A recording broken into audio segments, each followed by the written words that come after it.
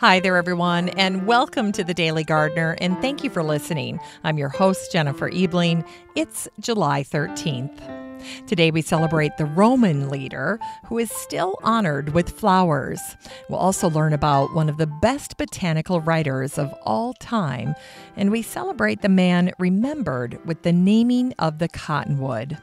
We also celebrate the life of a beloved English poet through his poetry, and every day on this year, he is still remembered with flowers.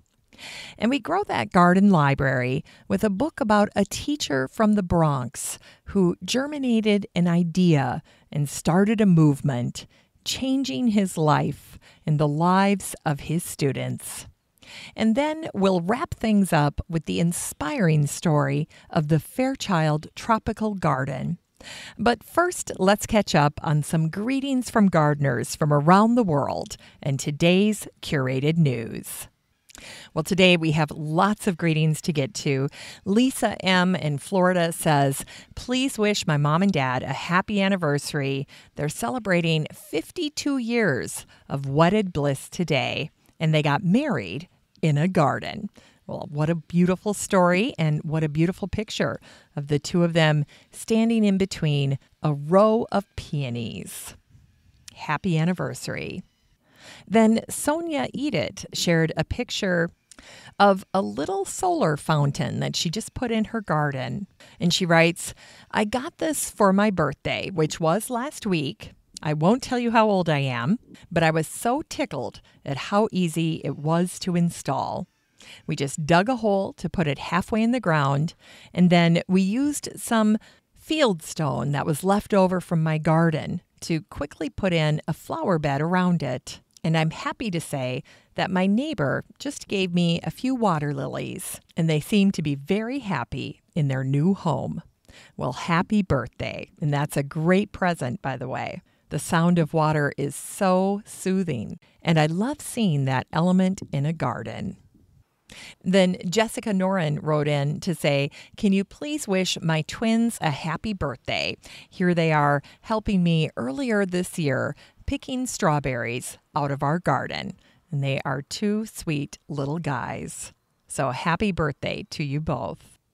Then Gail Bauer wrote in to say, Please wish a happy birthday to my best friend and garden buddy, Janine. We go to all the plant sales together, and in fact, we met at one 12 years ago this spring. Great story. And then, last but not least, Sarah Olson wrote in with a picture of her basil and said, Happy birthday to me. I'm back at it again, harvesting my favorite plant today and making tons of pesto. Well, Sarah, my kids and I did this exact thing yesterday. We spent over an hour with the basil that I harvested from my small kitchen garden here at the cabin. And we broke out the food processor that I found on a garage sale here two summers ago when we bought this place. So I was really glad to give it some use. Now, of course, I couldn't find any pine nuts at any of the local stores, so I managed to find pine nuts on Amazon. And if you're struggling to find pine nuts where you are, I thought these Amazon pine nuts were actually really good. And I liked the amount because for every batch of pesto that we created in the food processor, it took one bag of these pine nuts. Now, the ones that I ordered were called Nature's Eats Pine Nuts, and they were $4 $2.50 for two ounces, so you don't get a ton. That's like half a cup, but they were very good, very nice quality. And I think when it was all said and done, we had, I want to say, six packs of pesto ready to go. Now, in addition to the pine nuts, we added olive oil and finely shredded Parmesan cheese. That was fresh. And then some kosher salt. And we don't add that until the very end because we don't want to over process it. And really, just 15 seconds in the Cuisinart food processor, and that's all it takes. So tonight, I'm making my pesto spaghetti, and I can't wait. So, my goal is to record a couple episodes of the show and then get making my pesto spaghetti with my very, very, very fresh pesto.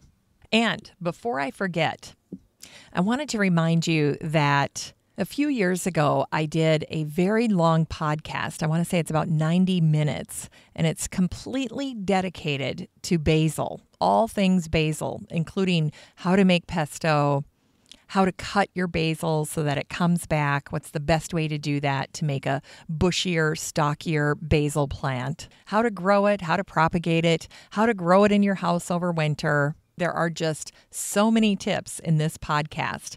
So that episode is one that I produced for my old podcast called The Still Growing Podcast. And I'll put a link to it in today's show notes. But if you're on your phone right now or at your computer and you just can't wait to check it out, all you have to do is type in The Still Growing Podcast and then the word Basil Mania all one word, and that show will pop up, and you will know more about basil than you ever thought you would. So happy listening to that if you want to check it out. But you know, one question I'm planning on asking in the Facebook group is what is the one herb your kitchen garden will never be without? And for me, that would be basil, no doubt about it. All right, that's it for today's Gardener Greetings.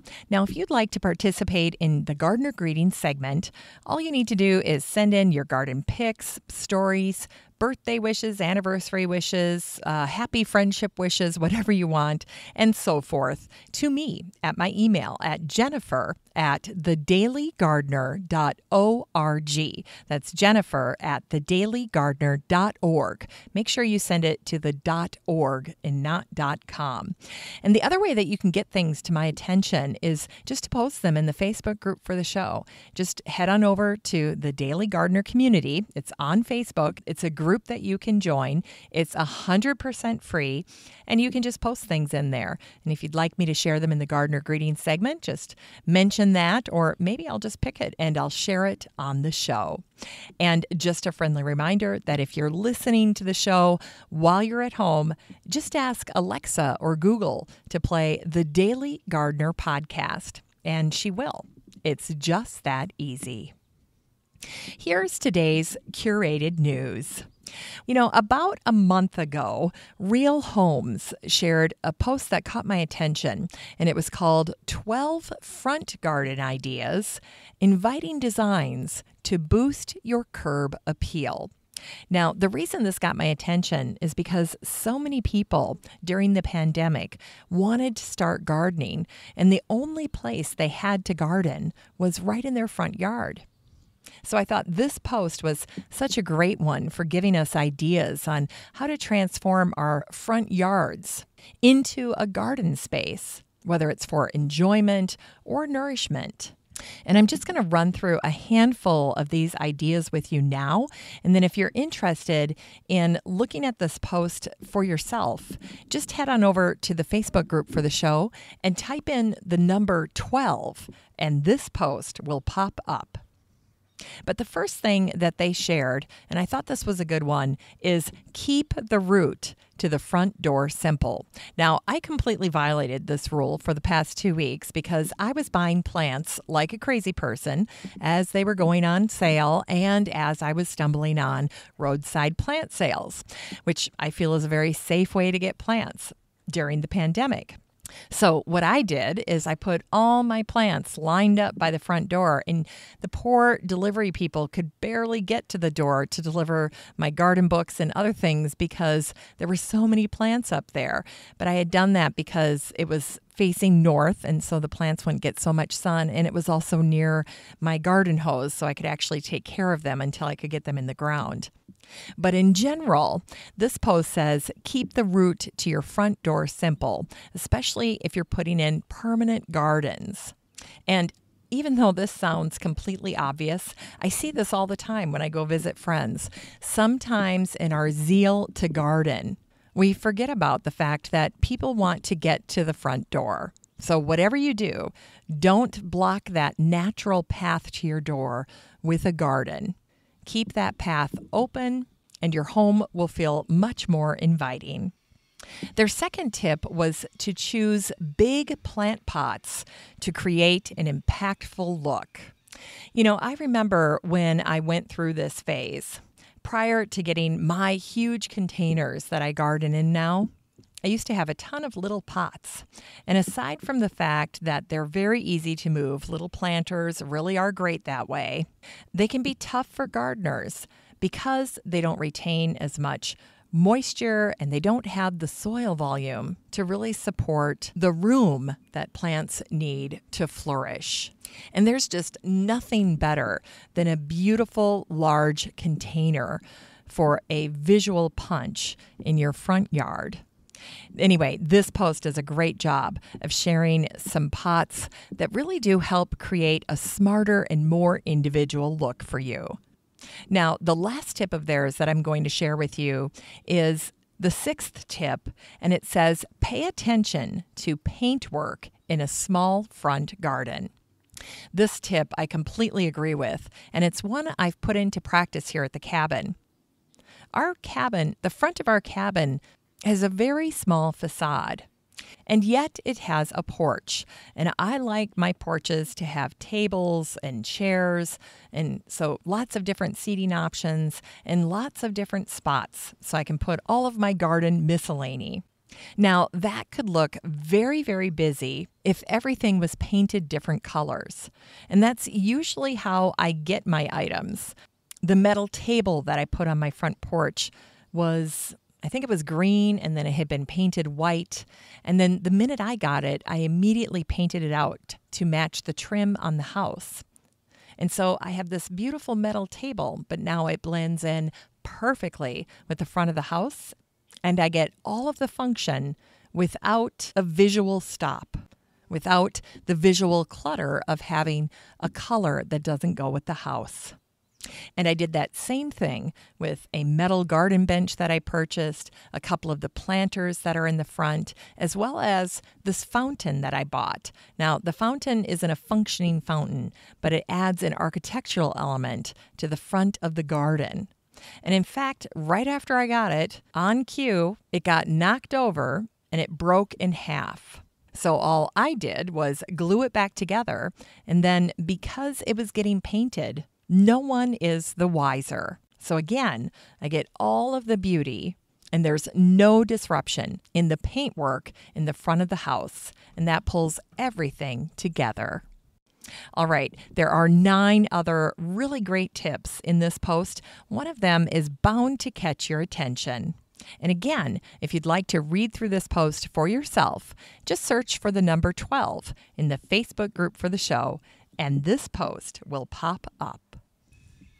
All right, that's it for today's gardening news. Now, if you'd like to check out my curated news articles and blog posts for yourself, you're in luck because I share all of it with the listener community in the free Facebook group, the Daily Gardener Community. So there's no need to take notes or search for links. The next time you're on Facebook, just search for the Daily Gardener Community and request to join. I'd love to meet you in the group. Here's today's brevities. Today is the birthday of the Roman leader Julius Caesar. He was born on this day in 100 BC. Romans still lay a wreath at his statue and throw flowers in the forum where Caesar was murdered. And today is the anniversary of the death of Jane Loudon, who married the prolific garden writer and publisher John Claudius Loudon. Jane died on this day in 1858. When her father lost the family fortune and died penniless when Jane was only 17, it marked the beginning of her career writing science fiction. In her books, Jane wrote about cultural and technological advancements that eventually came to pass. For instance, the women in Jane's books wore pants. In any case, her successful book, The Mummy, was published anonymously in 1827 in three parts. Now, in one of her books, Jane featured something that she imagined would come to pass a steam plow. And that notion, that concept, is what attracted the attention of John Claudius Loudon, her future husband. Loudon wrote a review of her book. He was very, very positive, but he also wanted to meet the author. Loudon didn't realize that Jane had written the book using a nom de plume. She wrote under the name Henry Colburn. Well, long story short, and much to Loudon's delight, Henry was Jane, and they fell in love and married a year later. Now, the Loudons were considered high society, and they called Charles Dickens a friend. As John and Jane grew old together, John's arms stopped working after an attack of rheumatic fever. As a result, Jane became John's arms, and she handled most of his writing. And when his arms got so bad that surgeons needed to amputate his right arm, they found him in his garden, which he told them he intended to return to immediately after the operation. Two weeks before Christmas in 1843, John was dictating his last book to Jane, and the book was called A Self Instruction to Young Gardeners. Together, they would often work late into the evening, and on this night, around midnight, John suddenly collapsed into Jane's arms and died. To honor John's memory, Jane completed the book on her own. And today is the anniversary of the death of the American explorer, soldier, and the first presidential candidate of the Republican Party, John Charles Fremont, who died on this day in 1890. Fremont is remembered as the Pathfinder after helping many Americans who were heading west by creating documents and maps of his expeditions. In fact, John and his wife Jessie created an entire map of the Oregon Trail.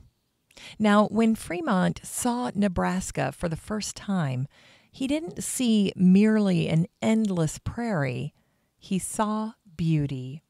To Fremont, the entire state was one big garden, accentuated with fertile soil, swaying grasses, and wildflowers as far as the eye could see. Fremont was one of the first explorers to write about cottonwood trees. He discovered them near Pyramid Lake in Nevada on January 6, 1844. Years later, botanists would name the cottonwood in Fremont's honor, calling it the Populus fremontii. Cottonwoods are among the fastest growing trees in North America. The cottonwood was sacred to Native Americans. To the Apaches, it was a symbol of the sun. And in northern Mexico, cottonwood boughs were used in funeral rites and were associated with the afterlife. And there's an old Native American legend that tells how the cottonwood tree gave birth to the stars. For a time, the tree held the stars and kept them safe. But then, one late spring, the stars were released until they filled the night sky. And every spring, we can remember the legend when we see the female trees release their star shaped seeds into the air. Now, when I was growing up, all of the beautiful elm trees at my childhood home succumbed to Dutch elm disease. My parents selected cottonwoods as replacement trees because they knew they would grow quickly, up to six feet or more each year. They simply couldn't stand how naked the house looked without the beautiful large elm trees. In truth, there's no comparison between a cottonwood tree and an elm tree. Elms are regarded as one of the most beautiful trees by landscape painters. Still, cottonwoods do grow quickly, and they make a beautiful sound when the wind blows through their leaves. But be forewarned, because the cottonwood tree grows so quickly, it often has weak wood that can be easily injured or damaged. Cottonwood trees are in the poplar species, and only the female trees produce the fluffy cotton seeds that float through the air and collect in your garden and garage in June. In Unearthed Words, today is the birthday of the English poet John Clare, who was born on this day in 1793. And each year on his birthday, the children of his village make little flower posies, and then they lay them on his grave, where they read poems they've written in his honor. Now, for today's show, I thought we'd wish John Clare a happy heavenly birthday by sharing a few of his poems. This first one's called All Nature Has a Feeling. All nature has a feeling. Woods, fields, brooks are life eternal. And in silence, they speak happiness beyond the reach of books. There's nothing mortal in them. Their decay is the green life of change, to pass away and come again in blooms revivified.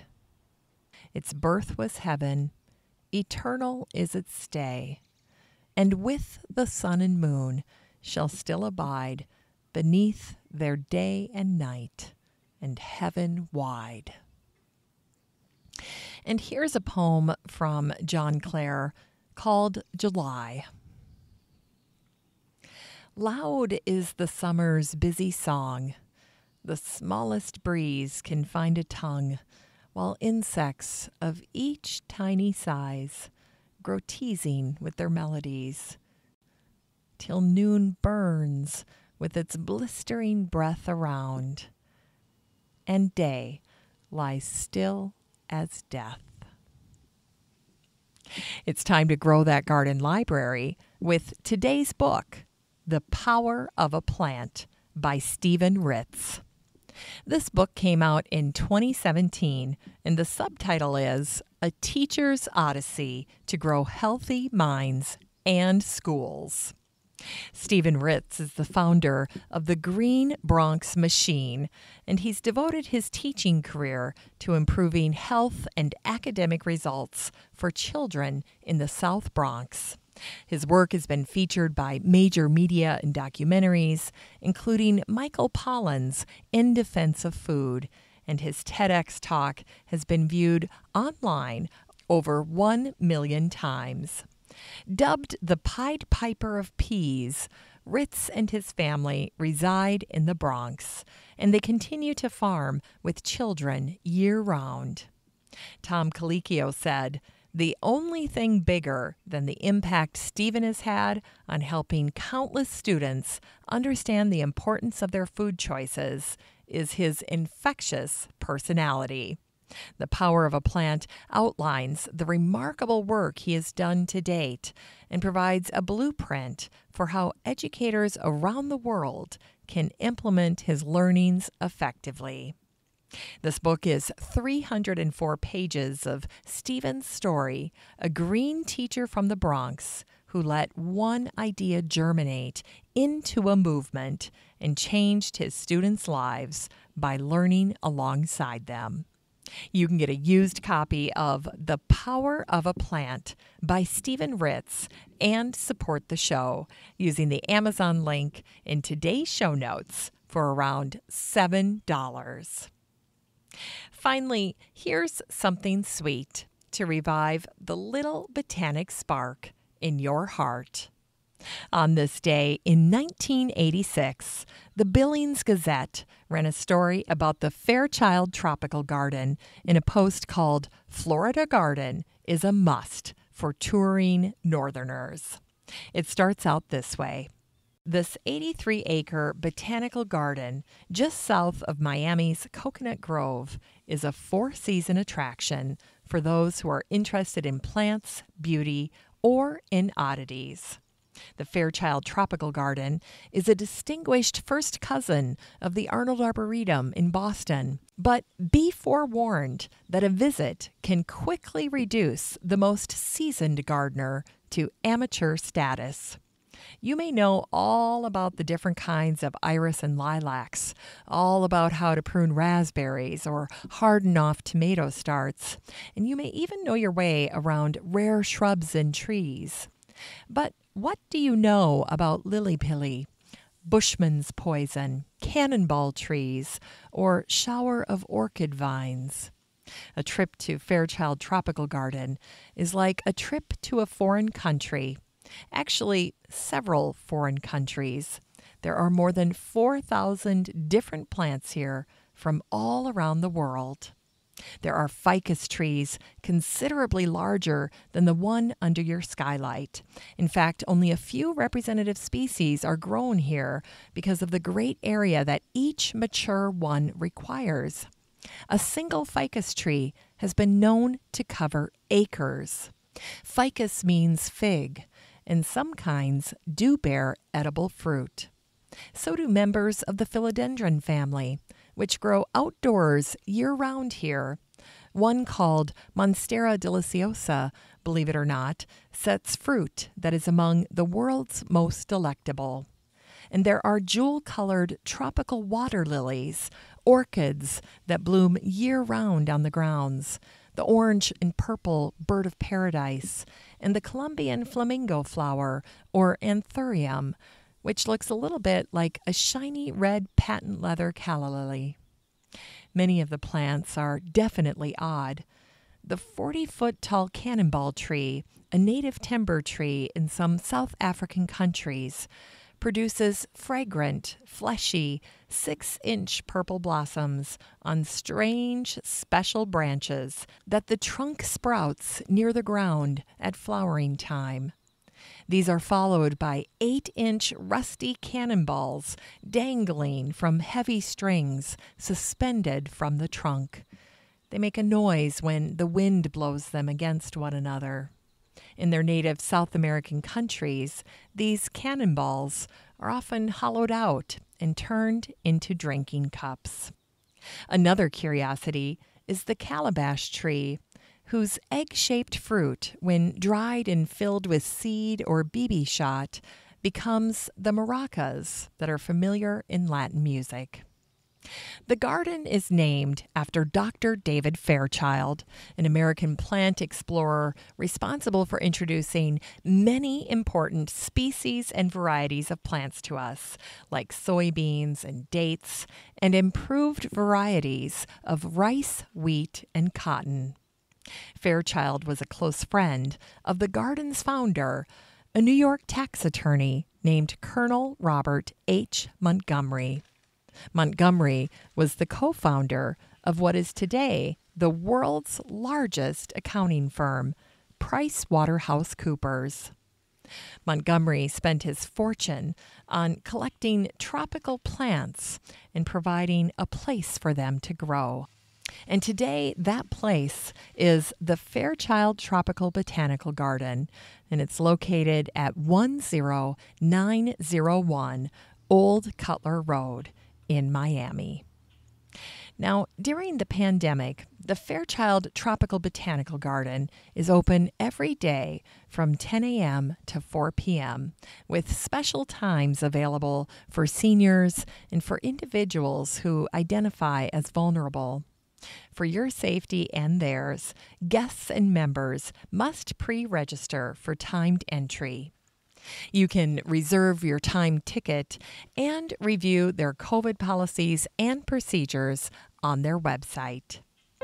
Thanks for listening to The Daily Gardener, and remember for a happy, healthy life, garden every day. The Daily Gardener is produced in lovely Wyoming, Minnesota with the help of Paige Mance, Brooke Beerbaum, Kiana Rayleigh, Maddie Doyle, Natalie Decker, and Eric Begay. You can find The Daily Gardener on all your favorite social media. You can follow the show on Instagram, and listeners always have a standing invitation to join the free Facebook group for the show. Just search for Daily Gardener Community the next time you're on Facebook and request to join. All the stories and books that are featured on the show can be found over at thedailygardener.org, thedailygardener.org. And while you're there, be sure to sign up for my free Friday newsletter. Last but not least, you can share your own gardener greetings on the show by emailing me at jennifer at thedailygardener.org. I'm your host, Jennifer Ebling, and as always, have a great day in the garden, and we'll see you tomorrow.